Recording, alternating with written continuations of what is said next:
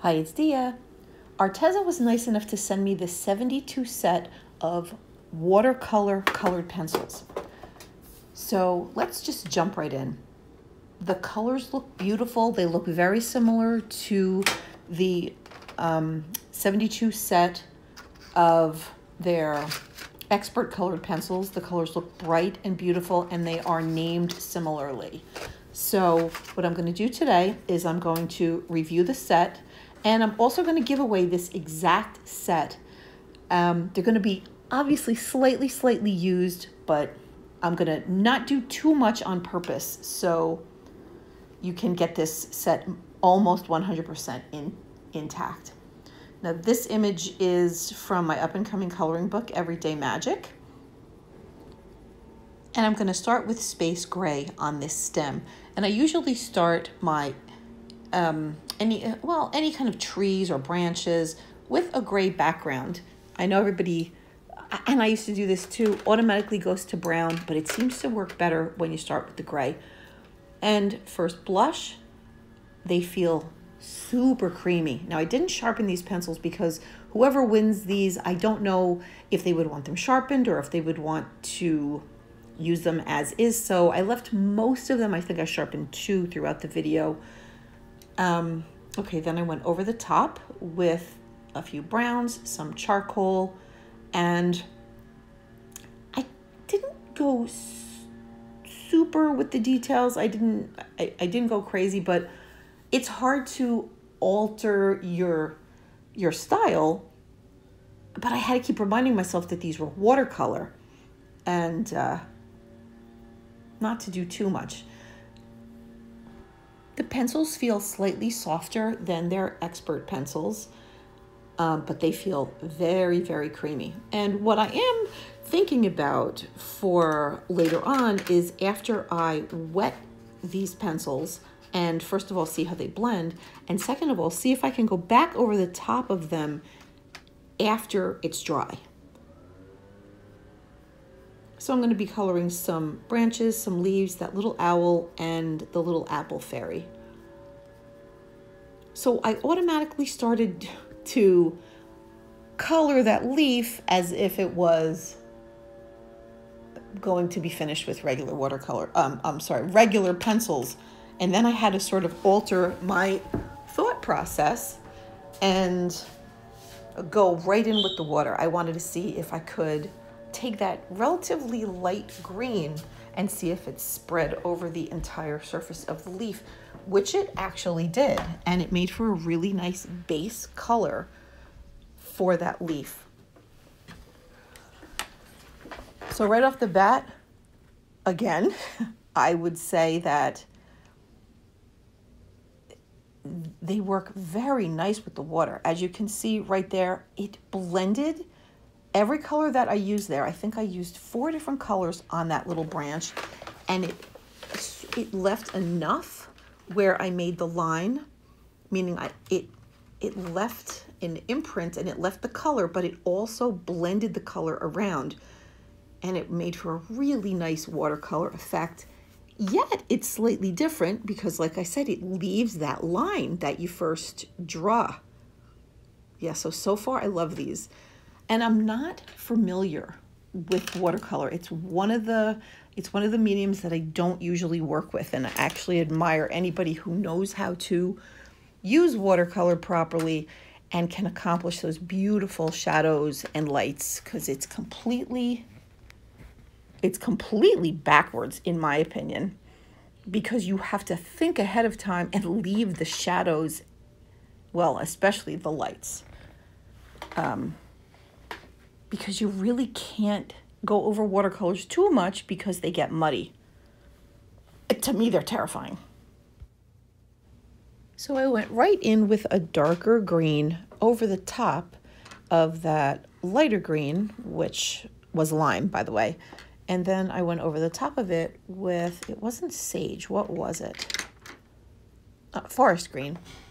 And the area was still wet. Now you can see when I go with the same color to this leaf above, on a dry area, it stays very vibrant. If I go back to the wet area, you can go over the top of it, but it's much more muted, sort of like a watercolor.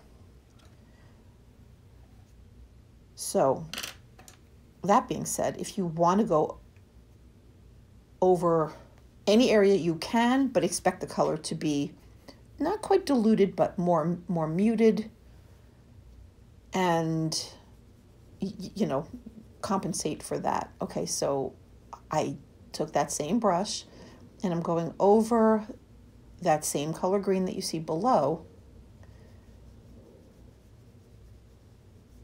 And you can see that you can move the product around. Now I'm going back over that area that I went over previously with the pencil and I'm gonna just spread that around. You can there's some of the product gets left on gets left on the brush and you can move it a bit. So part of that leaf's wet, part of that leaf is dry.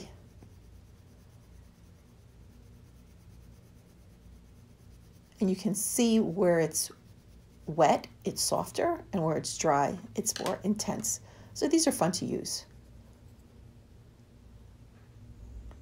Oh, the other thing, you do not need a lot of water. So the paper, I can't say it buckles, but just like any paper, you can see where you put the water for sure. But happily, like I said, you don't need too much water so it doesn't ruin the paper. Later on, I'm going to do a little bit of coloring in a Create Space book and see what happens there. That should be interesting. That paper's really thin and uh, that'll be a fun experiment. These are also kind of cool because you can leave a bit of the pencil texture meaning you don't have to blend it completely away. So it's not quite a pencil and not quite watercolor paints. It's a hybrid and it's really cool. So I did sharpen this pencil. This is in charcoal and I waited for that area to dry and I went over the top of everything. And as you can see, you can add really fine details with these pencils, either wet or dry. I do recommend if you're going to do the fine details, wait either wait till what you already painted is dry or um, do the details first. So for the giveaway, all you have to do is be a subscriber. You can either subscribe to me here on YouTube, you can join my coloring gallery on Facebook. You can follow me on Twitter or Instagram, and it's all under Dea Lenihan. So if you type in my name, it, pretty much anywhere I'll pop up. So you can subscribe to me, you can share, you can leave me a comment, anything, anything your heart desires, basically. And plus, I would love to have you. So do any of those things, leave me a comment and let me know. And this way I can enter you in to the giveaway. Um, it's going to, what's today's date? It's the, the 20th. So it's going to end December 5th. The winner will also receive one of my coloring books of their choice from Amazon. I don't have any of the buns artist editions left right now. I'm going to be waiting for the new um, the new batch to be ready and my work in progress, which is Everyday Magic, won't be ready for a little bit. So anything that you find on Amazon, I'll be happy to send to you. You can wait if you want for either of those things also, just let me know in the comments.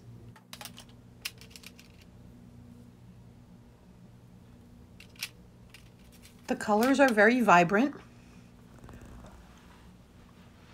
meaning the yellows are super yellow, the oranges are orange. It doesn't seem like anything got lost in translation from creating regular colored pencils and making them into watercolor. As you can see, these aren't even sharpened all the way. Like I said, they make lovely fine detail. Now that leaf, I won't go over anymore because I don't want that branch to blend.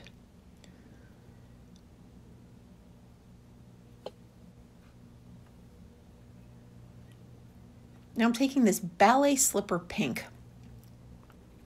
I'm gonna just color in her dress really quickly. That's a very, very light color. And yet, it's still pigmented. I darkened up her shoes a bit with the color Plum.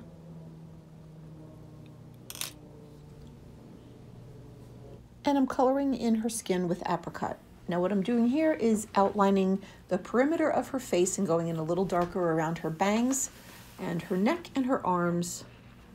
Just, and I'm not coloring the whole thing. As you can see, I'm leaving the areas that I want highlighted white, completely white, and then I'm gonna take that same brush which looks like it's green, but it's not. It's actually just stained and I'm moving that pigment around and it did pull enough of that very light color apricot into the other areas of her skin and it looks lovely. I wanted the dress to appear gauzy and almost like fairy, fairy, not fairy wings, but like a, like a tulle, like very see-through. So the areas where these little petal-like parts of the skirt would overlap would appear a little bit darker. So I'm just blending in that very light ballet slipper pink with the brush. Works very nice. And let me see, what color is that actually? It's called Pink Macaroon. Now, I went over there with, is that lavender or periwinkle, I don't remember. And then I ended up changing it. I, I went over it later on with, excuse me, spring green. Now for this leaf, I used pear and I went in very rough, as you can see, and left tons of texture and left the rest of it white. And I wanted to see what it looked like if I could actually blend out that texture with just the brush with a little bit of water. And as you can see, it works very nicely. So these probably would be better in the hands of a watercolor expert, but they, they're really, really nice to work with. And they're fun. I took a little bit of that pear that was left on the brush and I used it on the other leaf. Now I'm taking, that's either peony or plum and I'm just going over that overlap area.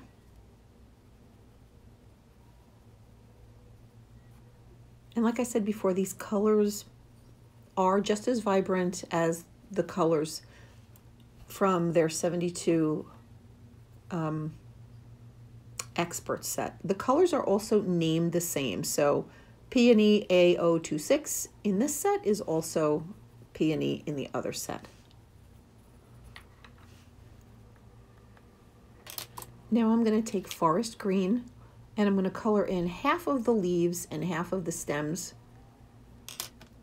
and then see if I can just take that same brush with a tiny bit of water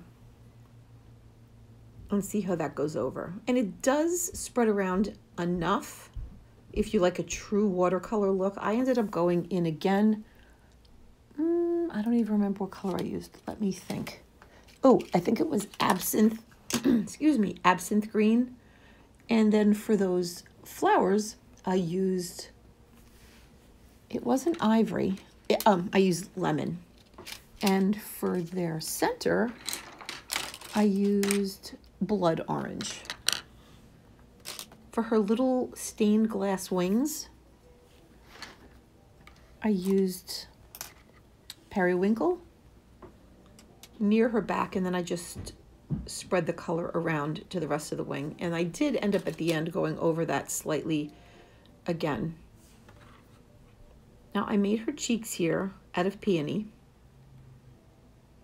and give her little fleshy pink areas.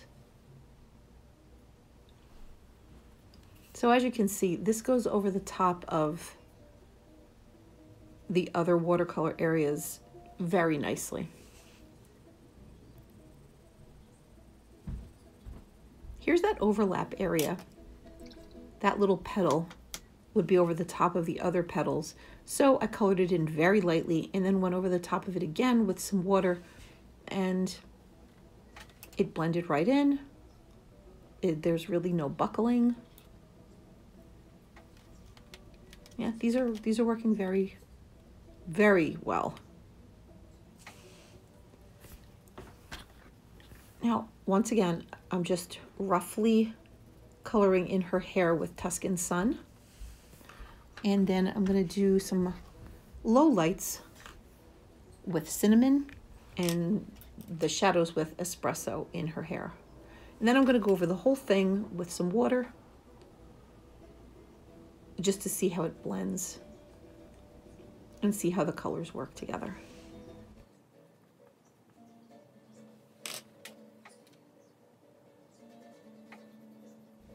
Here's the water. Oh, something I should mention also, when you do add water to these colors, the colors get more intense. It's almost like they they blend or it, it's kind of like if you were using a Prismacolor pencil and you use one of those clear um, blending sticks, but kind of in reverse. Like these get brighter, those get a little more muted. So very interesting.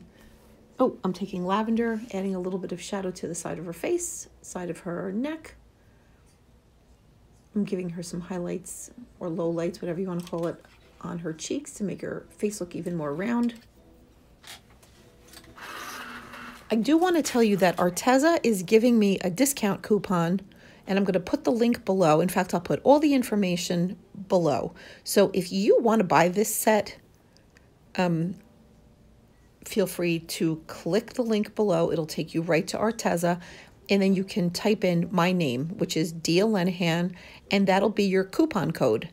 And you can get a discount. And I will get a little bit of a commission. Okay, here's where I sharpened the spring green and I went back over those leaves and stems that I had already done with forest green earlier and I just added some detail. I did end up going over um, several things in this image after I was even done with the video. Um, and I only used these Arteza watercolor pencils. I added some shadows. Even here, I'm using the charcoal to add some shadows, some depth. And sometimes I just don't put it in because it, these videos could be hours and hours long, meaning if I didn't edit. I'm going to take that same charcoal, slightly sharpened, and I'm going to add some little fine details to that baby owl.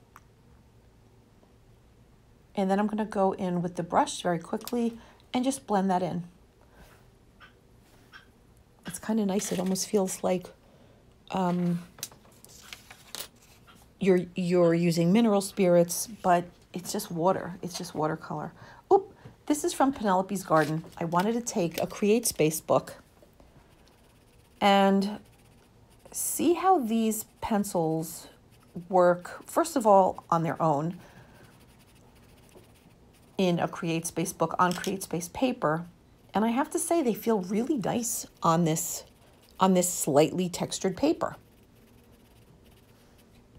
I added three colors to this cactus, which were lime, spring green, and forest green. And then I went over the whole thing pretty quickly with that same brush with with water just to see how just to see how it would blend. I added some pear at the bottom and then I didn't love it and then I went over it with camel just to add some shadow at the bottom. I'm not trying to make this perfect. I just want to see how it works. There's that forest green. I'll kick this in. You don't need to see me do this whole thing.